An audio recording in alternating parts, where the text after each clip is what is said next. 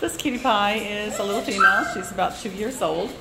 Uh, she came in with an adult male, which you see in the picture right there on the video. Hi, Keto.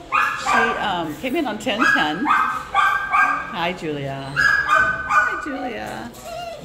Yeah. See, I'm going to go ahead and do him too. He is a male who's about two years old. Again, came in on 1010 with his friend. Hey,